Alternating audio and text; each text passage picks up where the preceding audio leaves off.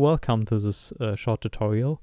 I will try to cover the uh, two biggest used programs uh, like uh, Vegas Pro and Premiere Pro.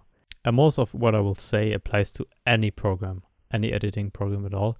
So you should definitely watch it, especially if you're doing videos since a time or you're completely new, but you have actually never learned how to do it right. So most people just start making videos, and that's fine.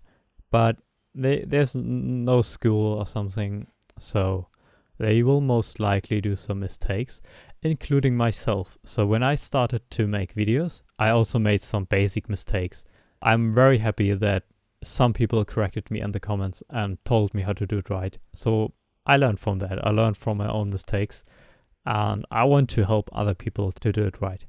This is an example that I recently found on YouTube. I'm very happy that the owner allowed me to show it. He's basically new to filmmaking and he edited in Sony Vegas. What I can tell from just watching the video. Because there's an issue that only appears in Vegas and it's something that you can't really fix by default. So you have to know some really dirty uh, workarounds for that.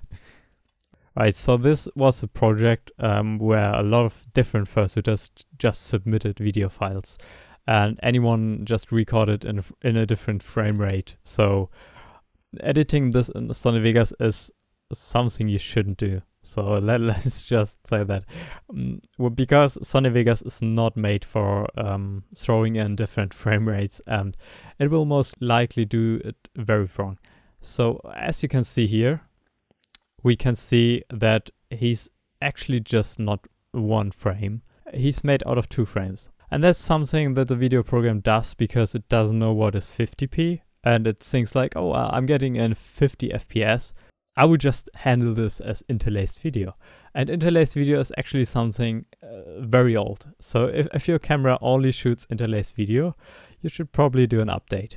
I know some people like to walk around with big uh, fancy looking cameras. And problem is, if you buy a big camera, there are a lot of buttons on it, and you basically have to pay a higher price. So let's just say you have 5,000 euros or less. You can't really get a good big camera. You should probably go with a small camera because then you get more for your money. Uh, it's smaller camera, less buttons, um, better overall quality. Uh, but if you want a big camera, you have to pay a big price. So if people want to to have both, like a big camera but a cheap price, they will probably get an interlaced camera or just a camera which is which doesn't produce such a good quality, like a smaller camera for the same price could do.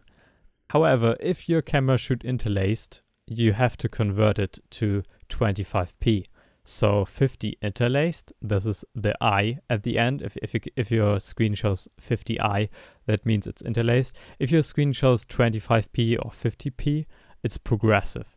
Interlaced basically means that you have two uh, images which are basically half images. So back in the days when those uh, technique was used, they had a problem with data speed, so you couldn't get all your data from the sensor to the storage medium. So you needed to apply some dirty tricks to do that. So you basically just read out half of the sensor, uh, save this image, and then later you you read the other half of the image, save this image, and then you have interlaced uh, video basically. And you you kind of like trick the eye to see it as normal images well, basically it's not. So today what you would do is to convert it to 25p. And with nowadays, uh, with software, it's, it's possible to do that without losing too much quality. So you can get a decent progressive image. But if you ask me, just please don't do it. Please use progressive because interlace is too old and you, you just shouldn't do it. Okay, so now that I bashed all the interlaced video camera users, uh, let's get back to the topic. This is actually not an interlaced um, image and it never was. Problem is, it was 50p. You throw it in Vegas, as I will show you later, and Vegas is like, oh, I'm getting 50 FPS, this must be interlaced. And then it handled this as interlaced and just put together two images, and this is the result. So okay, I mean, you, you could you could live that if you played. Um, but if you know how much quality you could actually get, just take this shot as a comparison.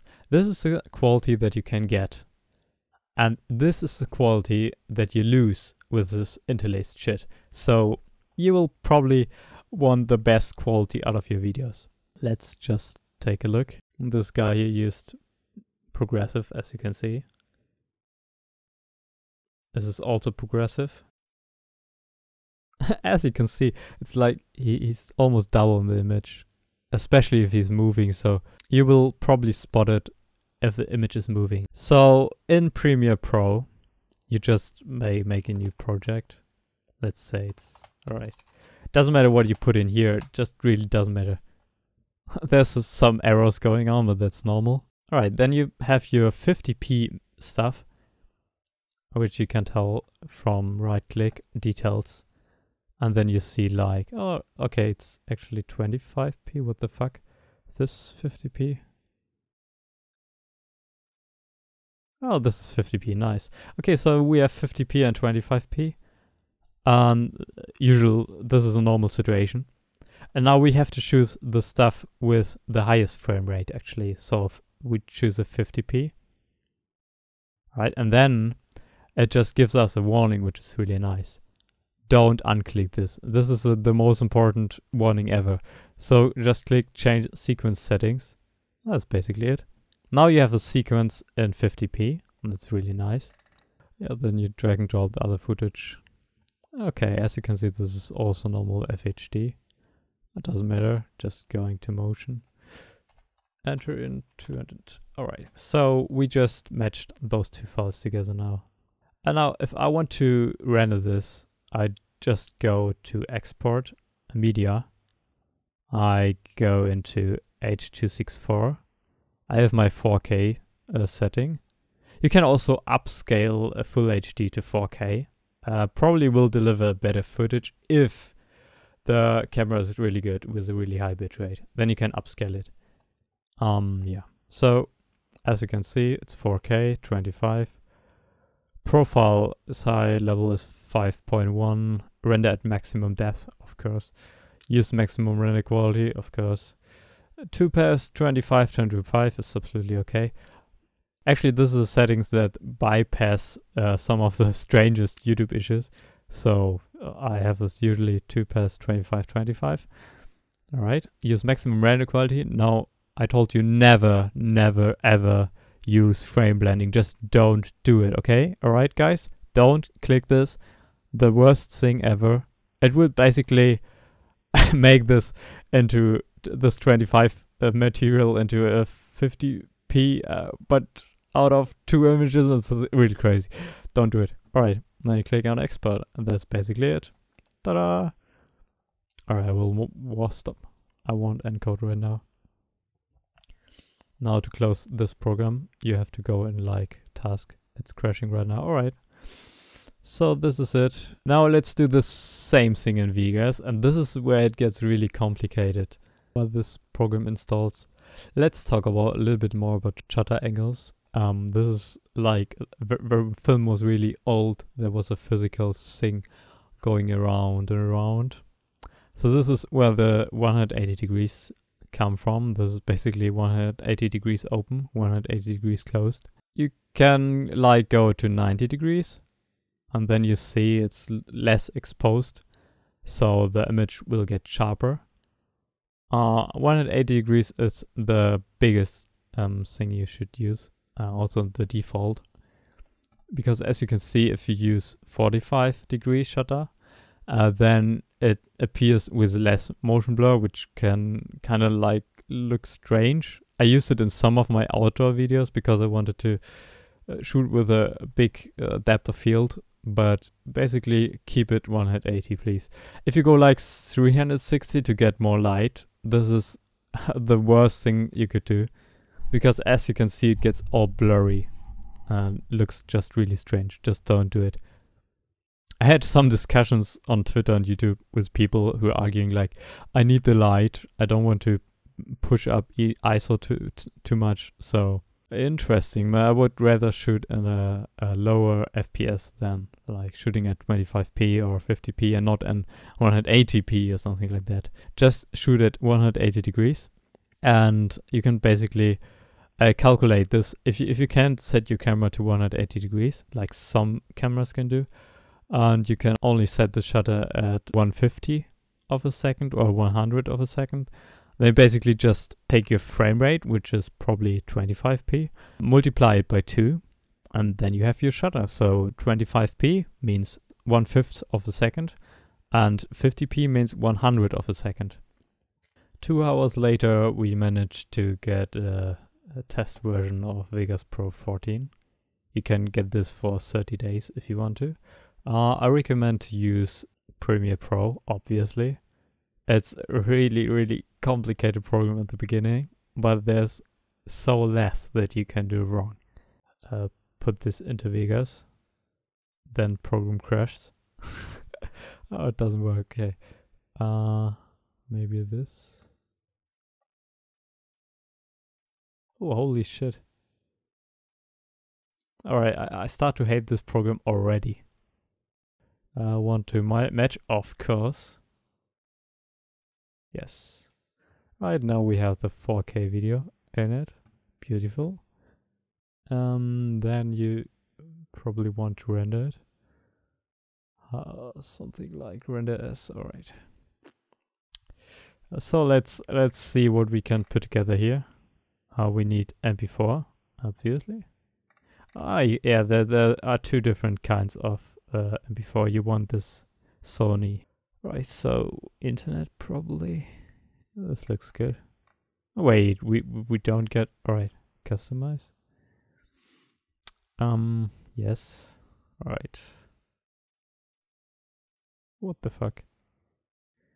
Okay, so we could render in 50p, right? Because uh, as you can see, let's go back in Explorer settings. Alright, details. So this is 50p material, obviously. So we want to render it in 50p. And this is the only workaround how we don't get any strange problems. Yeah, okay, wait. Bitrate. Let's let's do the same, like 25. So you can see in the preview already if it's handled as interlaced or not. That was correct. Alright, close. Now I will do the from approach to render it. I customize 25. And now um, we have this thing here. So it's non, it should get handled as progressive, alright. Upper field first, lower field first, alright. So if I would do that, it would get handled as interlace. So it would do that, alright. Uh, as you can see, it gets really blurry. Uh, you can see it already. Because it, it still can't do the progressive thing, which I I talked about earlier. I want to, to get another file. You can see it a bit better. Alright, there's some movement that's better. Oh, I freaking hate Sony Vegas for that. Why can't you just drag and drop files like in Premiere? Holy shit. Export. Render as. Alright, there's our template again. 25p. And yeah, progressive scan. It's not progressive. What are you doing?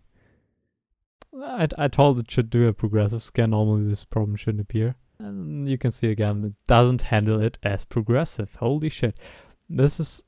I, I really hate this program for that because it says, oh, let's do a progressive scan. That's, that's a correct approach. But it doesn't do a progressive scan. It just do some really dirty shit. Holy whatever. Okay, you can see that. That's a really good example. Look, I, I don't even need another video. I can produce my own examples here. So, that looks so crazy. Right, so close. Let's export it again in 50p. That's the only workaround which works without other tools, but I have a dirty fix for you.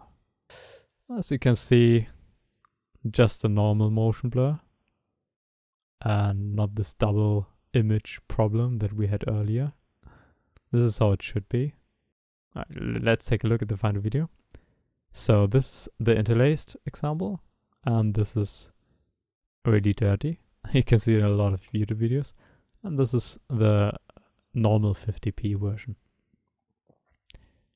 Now we can put this down to 25p without any problems in Premiere, but not in Vegas. Now let's just uh, search for Flickr buddy. I will put a link in the description. This is from 2009 and this is how old the problem is. So you download JS file. All right, preparing download. Scripting, run script. Ah, there it is. You just open it. Ah, we are fucked. okay, so you don't need the tool anymore. Alright, back in older versions you needed the tool, the script basically, which disabled all the resample clips, basically for all the clips, and now it doesn't it does work without. Alright, we learned so much from YouTube tutorials as you can see. Uh, thank you, Victor. Thank you very much. You have to highlight a clip, go to edit, switches, and then disable resample. So what it does is actually just tell the program not to do this dirty interlaced stuff. I guess you need to do this for every clip in your timeline. So that means if I go now to, to this switches, it's again use project resample mode. okay, you know what? Fuck Sony Vegas. Use Premiere Pro. You're done. So funny enough, I edited my tutorial video and I realized that I also made one big mistake, like basically the biggest mistake ever. Match the settings uh, of your project, which is actually something you should find in any video editing uh, program and it's really, really important. If you start the project, you should go into settings and take a look what's in here. So should be the setting of your best resolution that you have. Uh, field order should be none which means progressive scan. Um, frame rate should be the highest that you have in your um, project. All right, good. Of course, Gaussian is also nice. And then you have the interlace method. Just turn it off, so none. All right, and here you find the project resample mode. So if you go in here and just disable it, so then you click apply. All right, and now we will take a look. I didn't did any of this um, switch thing now. It's uh, used is just use the project sample mode, render as in it of course. Now I go into template. Now I set to 25. All right. Now I should. Uh, this is really important. I forgot it also. Um, you should uh, like get a custom frame size which matches your actually file size, uh, which is 4K. You can see it here. It's a project size. All right. Now this allows us to just frame size never work for me. Best. Alright, let's just save it 25. So 4K 25.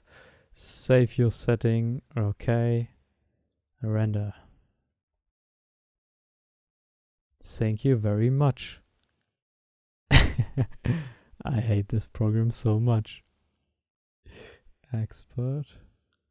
Render S. What is wrong with you? I don't know, it's...